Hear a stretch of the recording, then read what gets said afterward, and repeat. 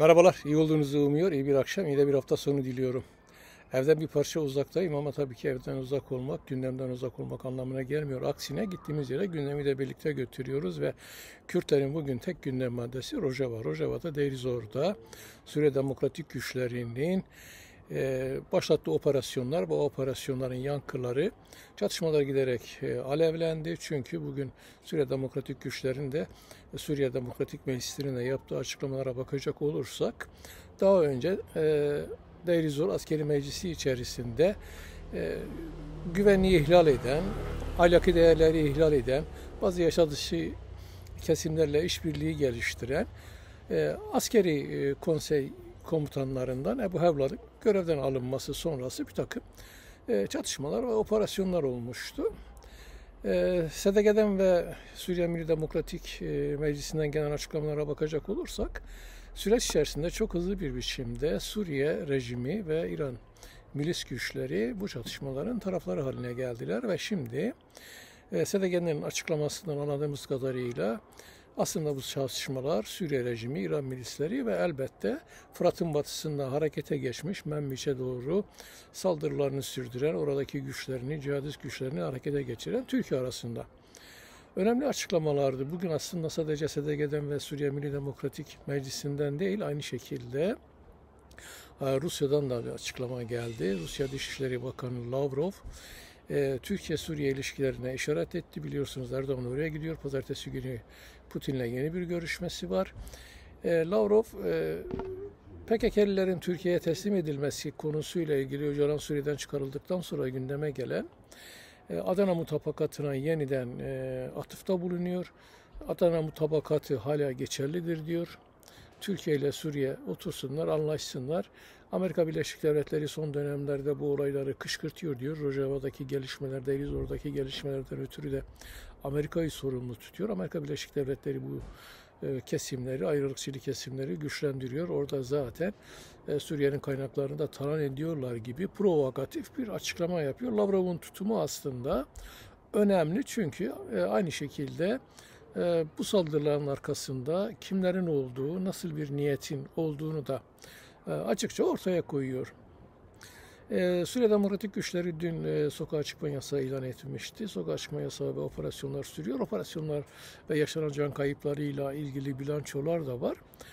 Ee, ama e, özel yönetim sorumlularının SDG'nin ve Suriye Milli Demokratik Meclisi'nin açıklamalarına bakacak olursak Fırat'ın öte yakasından geçen e, Suriye milisleri, İran milisleri bu çatışmaları sürdürmek, kışkırtmak için özel çaba harcıyorlar. SDG'de, Suriye Milli Demokratik Meclisi de, Rojava özel yönetimi de birçok kez altını çizdikleri gibi, ifade ettikleri gibi bu bir Arap-Kürt çatışması değil, öyle bir zemin yok. Arap aşiretleri de zaten ağırlıklı olarak SDG ile hareket ediyorlar.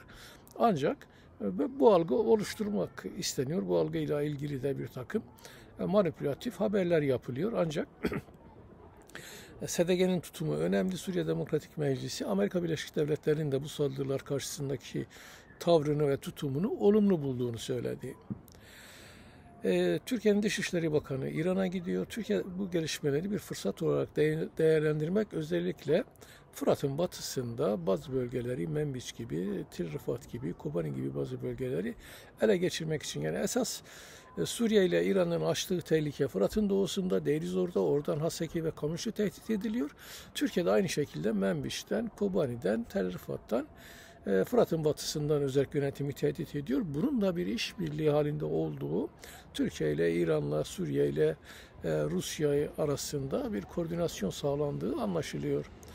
Türkiye'nin Dışişleri Bakanı pazartesi günü İran'a gidiyor. Daha doğrusu pazar günü yarın İran'a gidiyor. E, ondan bir gün sonra da Erdoğan Rusya'ya gidiyor. Gelişmeler ışığında yeni tartışmalar, yeni e, pazarlıklar yapılacak. Çok net anlaşılıyor. Ancak bütün bunları bir yere oturtmak için yeniden başa dönmemiz lazım.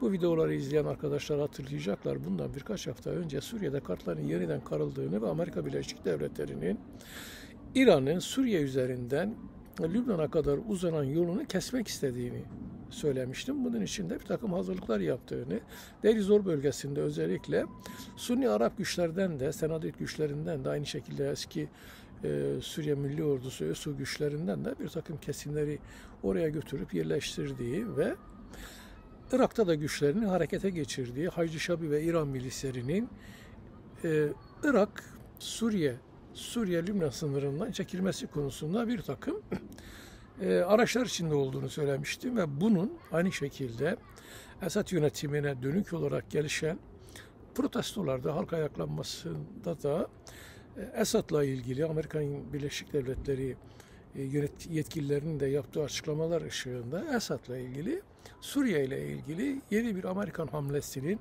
seçimlerden önce, başkanlık seçimlerinden önce gündeme gelebileceğini söylemiştim. Tam da bu tartışmalar olurken Amerika Birleşik Devletleri değiliz orada hazırlıklarını sürdürürken Rojava'da bir problem patlak vermişti. Neydi o problem?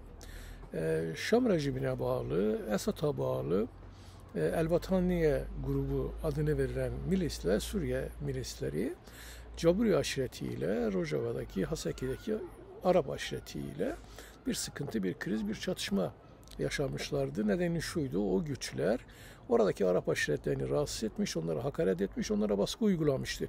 Rojava'nın egemen olduğu bir bölgede, özel yönetimin egemen olduğu bir bölgede Şam milisleri halkı tedirgin eden, baskı altına alan, taciz eden eylemlerde bulunmuşlardı. Buna da aşiret bir tepki göstermişti. E, tam o günlerde aşiretle e, Şam rejiminin milislerinin çatışmaların yaşandığı günlerde Rojava Özerk yönetimi de aslında bu çatışmaların arkasında Erbataniye grubunun bağlı olduğu e, devrim muhafızları, İran güçleri, İran milislerinin olduğuna dair de bir takım açıklamalarda ve atıflarda bulunmuştu. Şimdi bütün bunlar şunu gösteriyor.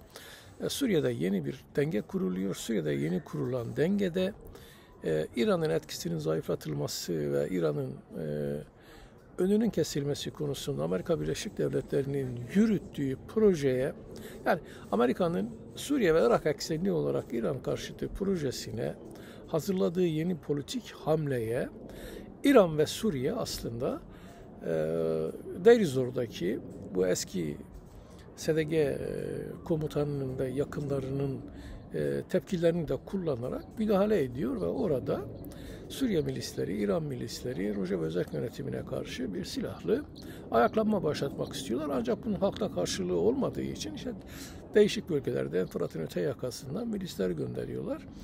E, Arap aşiretleri, Arap halkı Rojava'da özel yönetimden yana bir tutum sergilemiş. Karalı görünüyor. Ancak Münbiş'te tabii ki tehlikeli bir durum var. Orada da cihadist çeteler harekete geçirildi. Türkiye e, bütün güçlerini Fırat'ın batısından Münbiş üzerinde, oradaki hat üzerindeki bölgelere yığmaya başladı ve şimdi Türkiye bir yandan gidip İran'la ve Suriye ile pazarlık yapacak. Öte yandan da Amerika'ya bir takım dayatmalarda bulunacak. Bunun bir koordineli e, politika olduğu anlaşılıyor. Türkiye, İran, Suriye ve Rusya birlikte özel yönetime karşı bir siyasi hamle geliştirmek istiyorlar. Amerika'nın bu Esad karşıtı, Amerika'nın bu İran karşıtı projesine karşı. Türkiye'nin o kadar çok güçlü bir tepki vereceğini zannetmiyorum. Çünkü Türkiye'nin şu an Amerika Birleşik Devletleri tarafından da e, kuşatıldığı, onunla da geçmişten bu yana bir e, politik konsept e, etrafında pazarlıklar yaptığı da biliniyor. Türkiye e, Rusya'dan istediğini alamazsa ki alacak gibi de görünmüyor. Yani Türkiye-Rusya ilişkilerinde e, Rusya'nın Türkiye'nin bu Amerika ile yeniden geliştirmeye çalıştığı ilişkileri yumuşatma tarzından duyduğu rahatsızlık nedeniyle de bir ilerleme sağlanması beklenmiyor. Ama aynı şekilde Amerika Birleşik Devletleri'nin de e, Türkiye'nin fırsatçılığı olur bazı bölgelerde zaten bugün de mesela Kamış'ta, Minmiş'te e, Rojava'ya saldırılarını sürdürüyor. Türkiye fırsattan yararlanmak üzere harekete geçmiş ve Rojava yönetimini fiziki olarak da darbelemek istiyor. Amerika Birleşik Devletleri'nin ancak bu projesinde esar edeceği ve önümüzdeki günlerde farklı dinamiklerin, farklı kesimlerin de sahaya ineceği anlaşılıyor. Rojava'da önemli bir durum var. Suriye'de yeni bir dönem başladı. Kürtler buna karşı önlemlerini alıyorlar. Rojava yönetimi bu anlamda esas düşmanlarının kim olduğunu biliyor. Türkiye'ye, Suriye'ye, İran'a ve Rusya'ya işaret ediyor.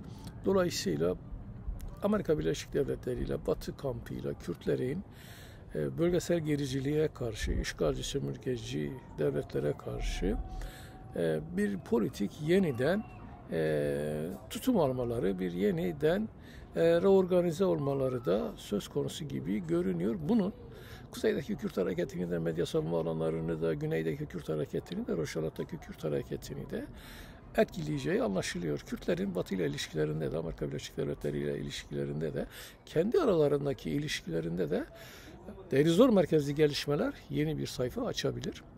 E, neler olabileceğini takip ediyoruz. Yeniden e, paylaşacağız. E, bir sonraki videoda görüşünceye kadar hoşçakalın. Size iyi bir akşam diliyorum.